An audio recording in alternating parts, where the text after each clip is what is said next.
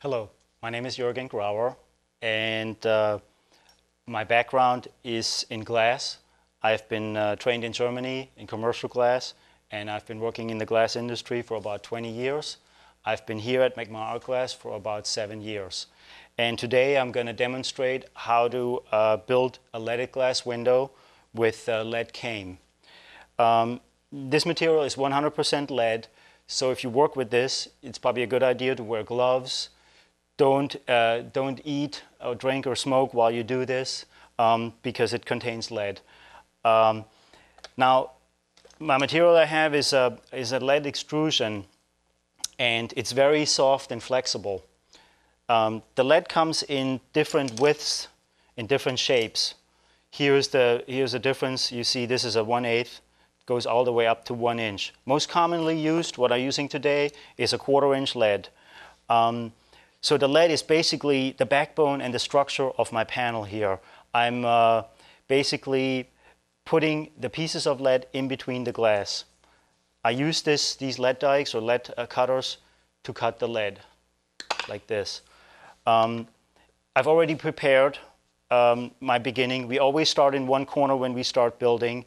And uh, I use little wood strips and nails. I hammer these down so they're nice and tight in here.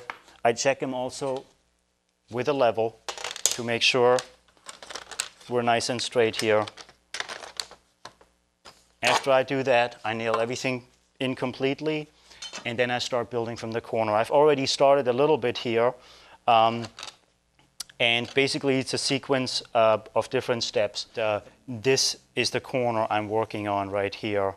Um, and you know, when you make yourself a pattern, you can blow it up to a specific size. Like I say, this is about an eighth inch scale.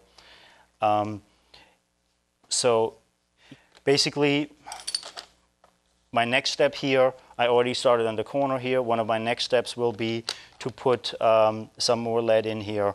So I measure my piece and I use a lead knife to mark where I'm going to cut.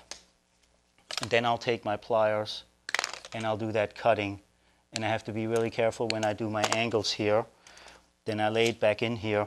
I also, I use these little nails and uh, stop pieces little scrap pieces of lead to hold my project in place so it doesn't wiggle around. That's very important. But when I, when I add the next piece of lead in, I have to remove one of them so I can put that in here. And then I have to mark the length. The better you build and, and the better, the, the firmer it is, the easier it is to solder and the solder will not flow in between here.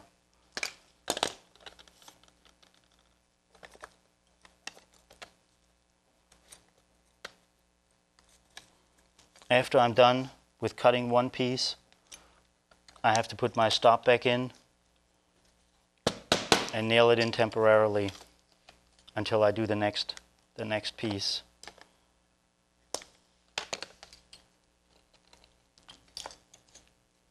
So this is the principle of how you build a stained glass panel.